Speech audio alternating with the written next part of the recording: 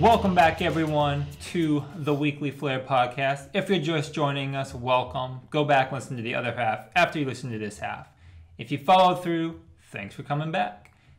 We just would like to make a quick shout out, real quick, to everyone who's joined us on Meerkat and Periscope. We'd like to thank everyone for restreaming and for retweeting and liking, especially Living Chick, who both liked and restreamed it, and Jovette, who also liked and restreamed, and Deary9200, who just said go blue. So, whatever that is, awesome. Thank you, everyone, also who's on Periscope. Um, I don't see what you're saying because I can't watch both at the same time. Just can't. Chris, you have a cell phone. I do. I have a cell phone. We were talking about cell phones earlier. I bet you most people watching or listening probably have a cell phone. Most likely not a flip phone. No. No, probably not. Very unlikely. But Samsung has decided that they're going to make a flip phone that runs Android. Good. Now, not the first one. LG has one that they announced earlier this year. And I think Samsung actually announced one earlier this year that only sold in Korea. But they announced this one they're calling like SM something 2016, whatever. Um, I don't think it's been an official announcement. It was like a leak or something like that. But uh, it's it's looks like a flip phone. Okay. So like um, I had an LG flip phone that was like stainless steel, Uh, and it looks kind of like that one, but it's a screen on the outside and then a screen on the inside, and it runs Android uh, 5.1, which is Lollipop, okay. and What are we at now? Marshmallow? Marshmallow, which Marshmallow. is six, no, maybe five. It's five five O Lollipop and five one's Marshmallow. I don't remember the numbers. Maybe it runs Lollipop, whichever that one is. I think that's five. think it's five. Five O was Lollipop. I think you're right. Um, but yeah, it's pretty sweet. Um, I kind of wish they had announced this had come out this year, like before I bought my phone, because I would have really considered it. Because I kind of miss having a flip phone. You could like flip it open. You could text with T9 real fast. Um, I don't know. I just I really liked my flip phones when I had all of them, and my first non-flip phone that I got wasn't actually a smartphone. Gotcha. It was just like a feature phone that was like a touchscreen, and it worked pretty well. I really liked it, but um, I kind of miss having a flip phone sometimes. You know, you could like it, it sit in your pocket better. Yes. It like you could set it on your desk, and like if you wanted to check something and actually open it, so you couldn't just like tap the screen and fiddle around with it while you're trying to get work done. Um, yeah, I, I kind of I kind of want to see what this does. Um, it says it has pretty like good specs compared to like phones that are out right now. It has like three gigs of RAM, a, a nice processor. It's got like 64 gigs of memory. Um, it's I think they said the leak said it had like a 15 megapixel camera and like a 5 megapixel front facing one when you opened it. So it's got all the stuff that people you know want out of their phone. It's got 4T LE, it's got 4G LTE. So it's got all the stuff that you need in your phone, but it's a flip phone, Gotcha. and uh, I'm kind of digging it. I'm kind of want to see what this does. Hopefully, maybe this this next you know kind of takes off and they make another one when I'm ready to buy another phone that's upgraded to what the phones are at that time. I would really consider buying it. Gotcha. I really would. Yeah, I mean, I know that's kind of crazy, but um, I, my phone's kind of to that point where it's like too big. Yeah. Like I like it. I'm really happy with it. But um, whenever I pick up my phone that I last had, because we use it to st- stream with, Yep. I'm like, man, this phone was a good size. And I thought that one was kind of big when I got it, because compared to the first gen Moto X, the second gen was bigger, and then this one, of course, is even bigger. Yep. I kind of miss having that smaller sized phone. So I think the flip phone might be pretty cool like that because it's small, then you can flip it open, and the screen's still small, but you have like buttons. I don't know. What was a good size phone? Uh, the Sidekick. Yeah, the Sidekick was. I really think the first gen Moto X is probably my favorite sized phone that I had. Um, it, it was kind of small, but the Droid X was okay. The Razr Maxx was. I mean, those were both good sized phones. The Moto, the first gen Moto X just had that feeling though. It just it felt right. The second gen Moto X was a little bigger. The Moto X Pure that I have now, it's it's just it's nice, but it's almost too big to like hold with one hand. Yeah. And that just kind of bothers me a little bit, you know? But, eh, what can you do? You know what you can do? What's that? You can go on Kickstarter right now and you can back a solar powered airplane. Really? Yeah, solar powered remote controlled airplane. No batteries on it. Just a solar. Well, okay. They say there's no batteries. What they mean is there's no battery other than something to hold the solar power. So don't worry. This thing can't just fly forever. Because that would kind of be crazy if like a guy out of range and just kept on flying or something like that. Uh, what it does is it charges up for like 90 seconds, and then it holds that charge, and it's not battery because it's not really a battery, but whatever and then you can fly it for like the propeller will spin for about 15 seconds and then you can like glide it around and then land it and do it over again um, so not not a huge amount of time that you can spend like really flying it per se but it's a pretty cool kit um, the wings and stuff it's all designed so that like if you crash it it should just like break apart and not actually break Gotcha. um, they're marketing it as like for like a kid's like science project kind of thing to like learn about flying and solar power and.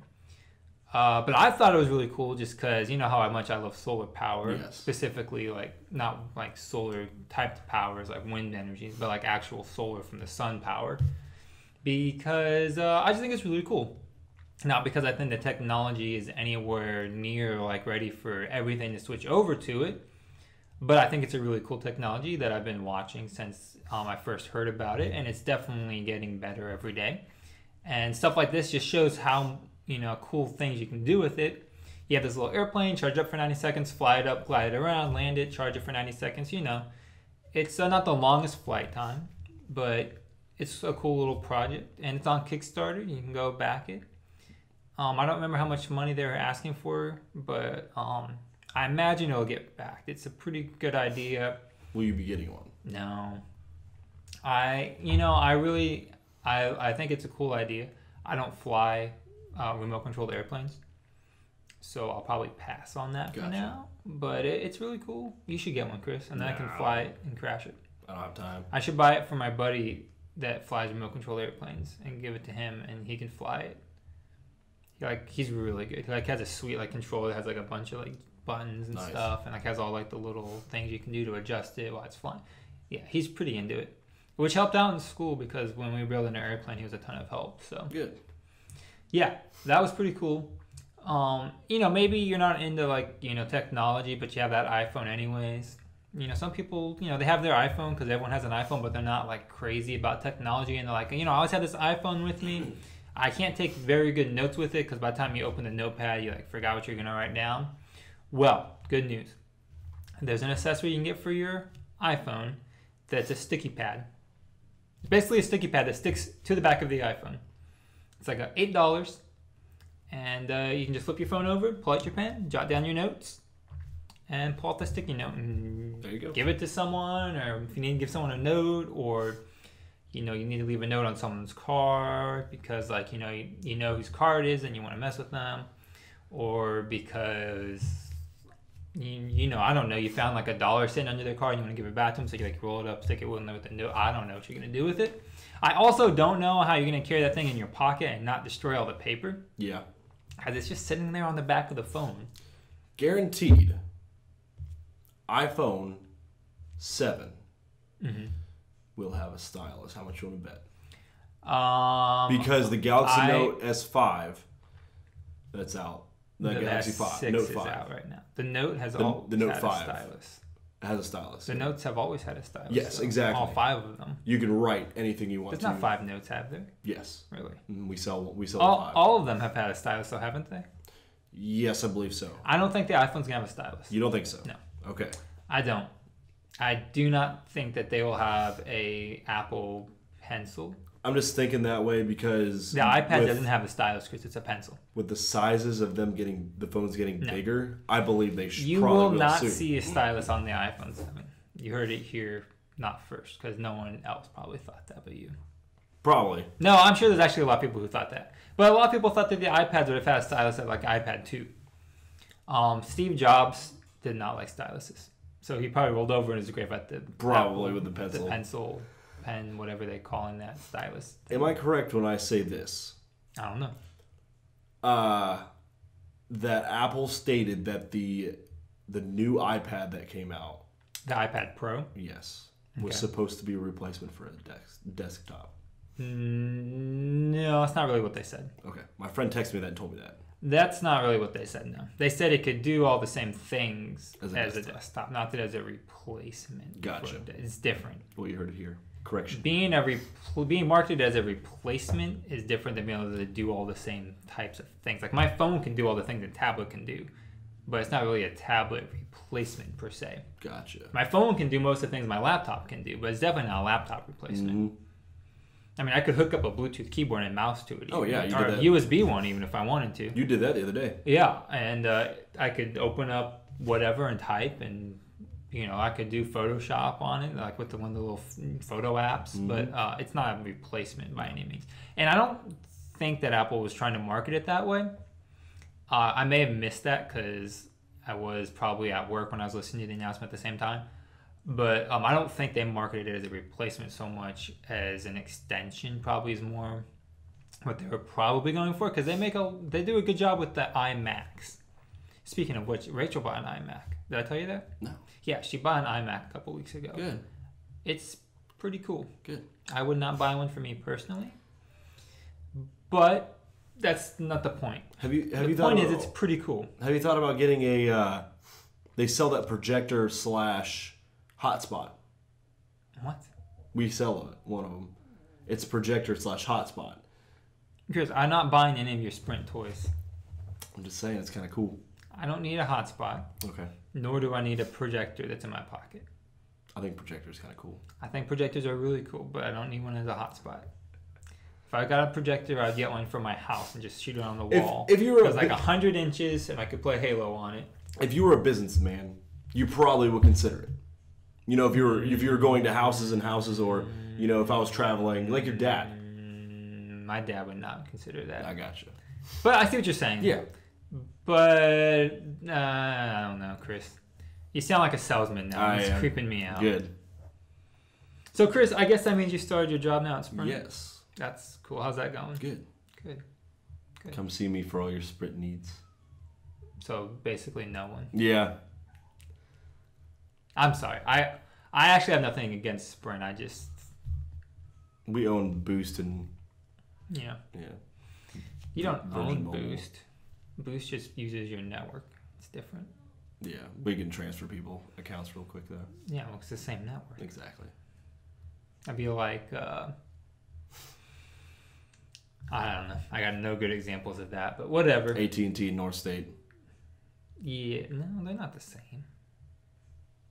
North State's an authorized retailer for. Oh, for AT and T service. AT&T. Yeah, but that's different than actually being eligible to transfer. Like, True. Yeah. Who would be actually? yeah, there's no good examples of that. There's really none. But that's okay. We don't need any good examples because they don't matter.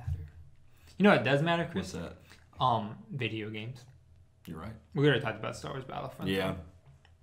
But what we didn't talk about, also on PlayStation came out this week, Super Star Wars from the Super Nintendo. Okay. Did you play Super Star Wars on the Super Nintendo? I did not. Well, that game was okay. But it's been re released. You can buy it on your PS4 or your PlayStation Vita. Oh, it's $10. Buy it online. $10. It's not too bad. No, it's not bad. Um, I was really close to buying it the other day, and then I thought, mm, I'm gonna wait and see if it goes on sale. Mm-hmm. If it goes on sale, I will probably buy it and play it on my PlayStation Vita because I think that'd be perfect for it. Yes. Also, everyone, you should go buy a PlayStation Vita because they're pretty cool. You can do all sorts of cool stuff like uh, play games, which you could do on your phone, but your phone doesn't have buttons and joysticks. That's about right. Yeah, that's all I want to say. Super Star Wars. What do you got going on this week, Chris? Nothing. Just Nothing. work. Probably Just gonna hang work. out with some friends. Finish some homework. Still doing that school thing, huh? Yep. That's good. Getting ready for Thanksgiving.